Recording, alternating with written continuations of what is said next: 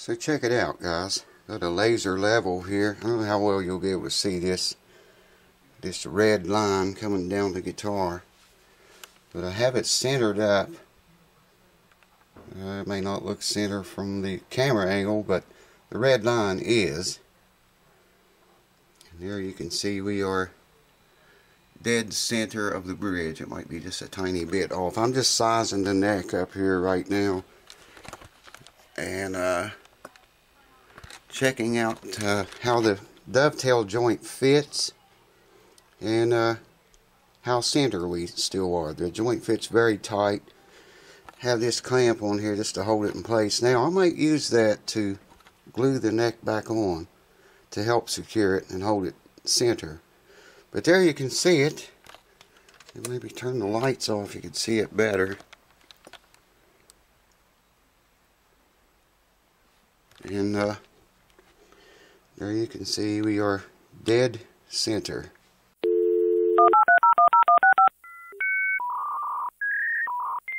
Well, here we go, folks. Welcome back again to another installment of the House That Never Sleeps. Today we're going to glue the, bri the bridge. We're going to glue the neck, this Kay neck, back onto this Harmony guitar body. Um, that's the reason all those shims are put in here because they did that to make the dovetail joint fit. Obviously the Harmony uh, dovetail joint was a lot smaller joint than the joint they used in the uh, or the Kay the Kay dovetail was a lot smaller joint than they used in the Harmony uh, dovetail joint. So they put a bunch of shims in there, and I'll put some more shims on the uh, tenon of this joint to get it to fit as tightly as I possibly could. And it fits up good. Everything is centered well now. I made a shim for the uh, under the fretboard extension. And uh, I got glue, I got brush, I've got wet cloths, I have paper towels, um, clamps. I think I have everything I need here now all together right here within reaching distance. There's always something that you forgot, it usually. Anyways, I'll bring the camera over here closer and uh, try to get you some kind of a view of this. And let's glue the neck on this thing. Woo! The boogity bob. You might be wondering why the tape and this uh, band clamp right here. I'll show you that whenever we get to it. We're, it's going to be a few minutes though because we got to work our way up to that. There's a reason for that. It's just a uh, a backup precaution that I'm going to take. I wouldn't have to. I do it sometimes and sometimes not. And I'll do it when I think of it, put it that way. So, let's just get this covered first. And get ready to rock and roll.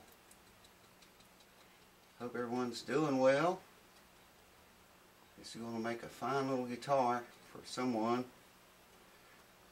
And should be very good guitar for a very long time. It should last someone a very, very long time to come.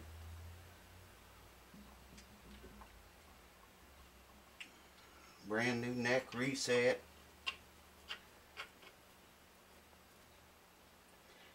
get more glue back in there. There we go. And this side. I don't think it's quite enough. I've been accused of using too much glue before. Can you imagine that? But my motto is, you know, if you use too much glue, You can always wipe the squeeze out away. You cannot, however, always go back and uh, add more glue if you don't have enough. So, you know, I think it's better to use too much up front than it is to use too little. And we just want to coat this entire thing with glue and all of this. I doubt you can even see what's going on. I'll show you the best I can. And spread it all everywhere. within that joint. Grip it everywhere too while you're at it. That's always a lot of good fun. That's why we have glue rags all over the place. I'm going to wipe this off a little bit before I just get it smeared out fairly even every place that I can. And I think we're set.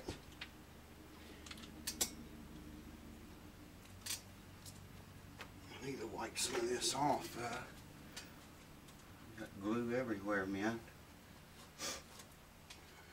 Guitar neck reset.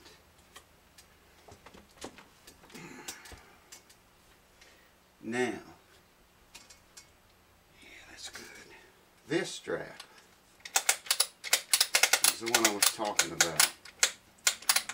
And all that's for is to kind of help hold that in place while I uh, get a couple of these on it.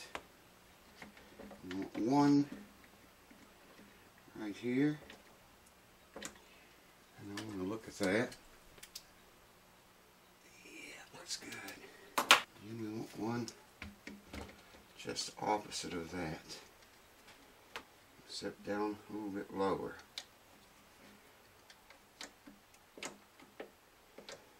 And got some serious squeeze out going on right here.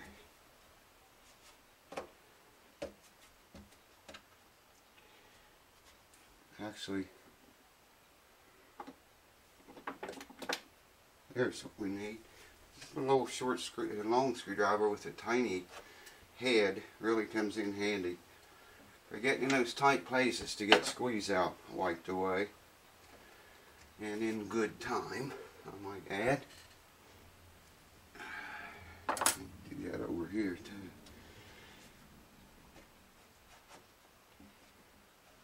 Now one very important factor I should mention here is getting our center line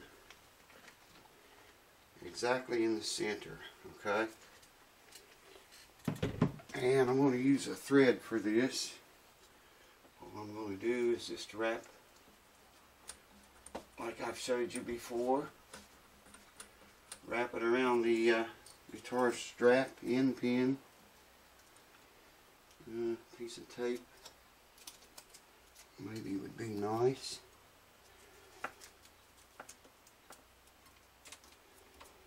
just to hold that in place. And we want to make sure take this loose for a minute. Make sure we are dead center with this neck. And it looks like we are. Okay this is good. Well my I'm going to have to loosen this one just for a minute too. So I can be absolutely sure this neck is centered. This is a very important step folks. It pays to take the extra precaution, take the extra time, the extra step, and just make absolutely sure that you're centered up, and we are. It looks good. Clamp this other one, I think. And got some more squeeze out happening. You really need about six hands when you do this, especially if your hands are like mine. it pays, believe me. It makes life much easier if you got more hands. Oh shit, well if you have hands too that work, usually is good. Mine used to work, they don't so much anymore. you all know about that, I'm sure. So there's our thread technique. I'll check that again little later on. I'll make sure we're still... Yeah, man, looks good. Excellent. That is an excellent fit on that joint. Now, that off just a wee bit more. Got more squeeze out. You get rid of that before it becomes run out. I know you probably can't see shit. It's usually the case. I'm going to rig up a like a sky cam type of thing here one day. Sometimes I do set the camera up here on a tripod and get a sky cam like view. But it's right in the way. When I do that, the camera is always right in the way. So, doesn't always work out in my favor, if you know what I mean. Okay, it all looks good. One more tiny clamp now to go. Let's get that out of the way. Put a couple blocks right here. And we're going to put a little clamp right here on the end of the fretboard extension. Try to get a little bit more squeeze out here if possible. Oh yeah. Yeah baby, we're getting it. You can't see it, but it's there. Just the same. And this is good. This is good. Come on, finish it, Bird. Come on, finish that shit. But yeah, we're the, uh, like I said, the Kay dovetail, part of the dovetail that's on the neck, the tenon, was much, much smaller than uh, the dovetail of the guitar body. And someone had tried to resize that, make it fit and make it work. And they did pretty good as far as, you know, fitting to join up, but they had the, the wrong angle on that neck, big time. Big time wrong angle. Yes, sir, but that's a good fit, man. She bit right up. And on both sides. So we're good. We are good there. Uh, make sure everything's plenty tight. Get this out of here before something bad happens. Yeah, we just got more squeeze out there. So get that back. I should have just uh, did that before I wiped squeeze out of the way, but it would have been smarter. Sometimes I get the cameras rolling and man, it's really easy to forget things. Forget to do things that you're supposed to do.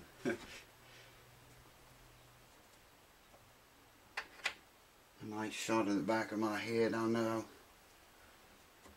Uh, just, you know, like there's no time to visit right now.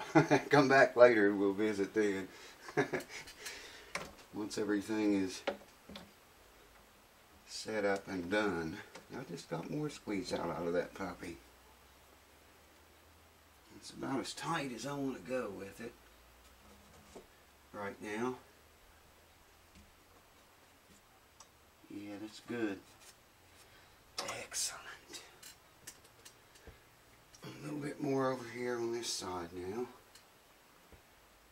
And then I will bring you over here give you a free shot. What do you think of that, folks? Everybody likes a free shot now and then, do they not? Woohoo! The bookity ball. I'm telling you. Alright, let me look at it again. Yes, sir. I like what I'm seeing. I do see a little tiny bit of squeeze out I gotta get. And it's right under that jack, under that clamp. Of all places, it would be, wouldn't it?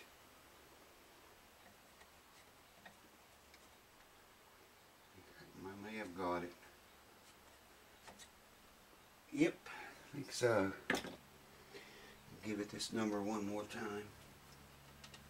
The owner's going to be very happy with this guitar. Compared to how it played before, the action was uh, really crept up on it. Very hard to play. I think now we're going to be very much easier to play. So there we go. We're set up. Everything's good. Everything looks good so far. Except more squeeze out down here. I didn't even get that. I'll get it now. No time like the present, eh? Eh? And there we go. So hold on. I'll get the camera, bring you over closer, and we'll have a look. The old Harmony is going to live again. I gotta make a bone saddle for it yet. Had to knock the nut out of it. Uh, yeah, this this uh, band clamp, like I say, the only reason I used it was to get glue on the thing, the joint, get it locked into position, and then squeeze it, you know, up tight against the body of the guitar. Of course, the dovetail does that as you shove it down in. It pulls the neck tight against the body. That's one good thing about a dovetail joint. The tighter you squeeze it, uh, the better it fits, the tighter it fits. If I can get you a shot inside of here, I don't know if I can hold the camera still enough or not. Probably not. I see some more squeeze out coming out down there. And the camera is not going to focus. But you can see what a good fit we have there. Now, I don't know if you can see it. I made a shim under here. I should have showed you that before I put it together, probably, idiot. Anyways, I had to cut a shim to go under the fretboard extension there to keep that fretboard flat and level with the rest of the neck. And you can't see it too good here. Maybe a little bit. Made it out of maple and uh, I stained the wood. It was uh, there wasn't any finish or anything. It was just bare wood, and I stained it black to match the rest of this. Uh, you know, with the guitar neck. If you look up here, you can see some of that stain is coming off. It just wears off over time, and that's the way this down here was. So I kind of darkened it all up a little bit to make it look better. You know, you don't want to just a bare wood shim sticking out there in plain view. So fix that so it doesn't look as obvious. Fingerprints all over this guitar. Like I say, got to make a saddle for it. I have a, uh, actually I have a bone blank. I've already started.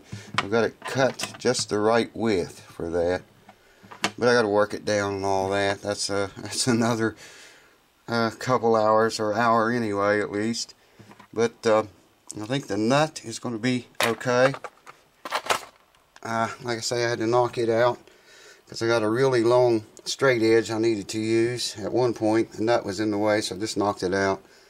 And I'm going to put the original the same nut back in it. I don't know if it's it probably is the original for this Kay neck it's a funky little nut. Very small and very thin and it goes just like so see how small that nut is but uh, we had the proper string height up here. So I want to use that nut if I can because you can see the footprint of it there, you know, where it sits. I won't have to change anything there when I glue it back in. I should be able just to glue the nut in and uh, be good to go. So there we go, folks. Neck reset. And that's what she looks like as of right now. I'll give that 48 hours and uh, come back and take the I may start uh, whittling out that that saddle in the meantime, but that's got to set. This has got to set for at least 48 hours, and then I'll come back and take all this crap off of it, let it breathe again, and we'll start putting the saddle and strings and nut and all the fun stuff back on it. See what this baby sounds like. And uh, I don't know, you might see a Gibson video before you see another one on this guitar, because I wait two days I can be working on the Gibson, you know, in those two days while I wait for this one. Anyways, that's what's happening at the house. Never sleeps. Hold on. Like I say, we'll leave that now for 24 hours. Just leave it sit. Or 48 hours, actually. Come back and remove all this crap. And uh, I might work some on that Gibson guitar. Start tearing it down as we wait. Or I may go ahead and, and cut, finish cutting the saddle out for this. I could go ahead, I guess, and glue the nut back in it. And uh, it won't be very long now. Uh, next video we'll probably be stringing it up, maybe setting the thing up even then. Who knows? Well, just looking at these keys, they're very loose. Do you hear that? That's the pegs. All of them except one, the fourth string, is tight and it turns really easy. Probably just a screw on the back loose. But I go over, that's something I go over and check everything anyway when I set a guitar up or work on it. I, I just check the keys, make sure they're all everything's tight, that every screw on it. Definitely be tightening those up and lubing those keys. But yeah, man, um, the tape, by the way, was to hold this band up near the top or the center of the guitar until, you know, while it was loose. It holds itself once you tighten it up. The tape was just to hold the band there until I tightened it up. And like I say, it's I could probably take it off now. It'd be hard to get out with these clamps here, so I just leave it on there. I only use it to hold the thing securely together enough. A lot of times when you glue two things together and you clamp it, it'll it tries to move. It can be very slippery, especially fretboards. So the idea I was thinking was, you know, get everything glued up, get the the uh, neck into the joint, and tighten this up just enough to hold it there until I could take a straight edge. And I don't know if I showed the straight edge part or not. Check the uh, plane of the uh, fretboard with the plane of the bridge, and also check with the string, like I showed you there, to make sure we were centered. Once I was okay with that, then the rest of the clamps go on. So that's what's going on there. So uh, I guess I'll see you in, well, I'll probably see you again before at 48 hours, but uh, next time you see this guitar, it'll be 48 hours from now. Had a little uh, incident, or accident, I should say, yesterday, or day before yesterday. I broke my toe, man, on my left foot. I guess the, the toe beside the big toe, I guess you would call it your index toe, I don't know. But I, I didn't go to the doctor or anything, but it's broke. There's no question about that. I was carrying my computer. I was going to take it up and blow the dust out of it. I had one of these little gates up in the door over here to keep the dogs in or out. And it was up. And of course I was carrying a computer, couldn't see it. Barefoot. Bam, man, into the thing. And I was hurrying. And uh, I went ahead and went up and blew all the dust out of the computer. It hurt like hell. I could barely walk. I finally got back to the house with it and I set the computer down and I looked at it and it was uh, like a rope man. I could bend it to side to side or straight up or any direction all directions. And I knew then it was broke. And it had already started swelling up and now my whole foot swelled up but uh, I barely walk on it. I mean it's just one thing after the other at the house. But uh, that's just another obstacle. Uh, like today was a beautiful day. I should be outside doing something but, uh, you know, it makes for good excuses to stay in the house that never sleeps and work on guitars. So there you go. Wish me well. Cheers to you. Thanks for watching. I'll see you on a Gibson fix or on this one again soon, or it may be something else. Who knows? Cheers. Thanks for watching. Whoo! The Boogity Bop.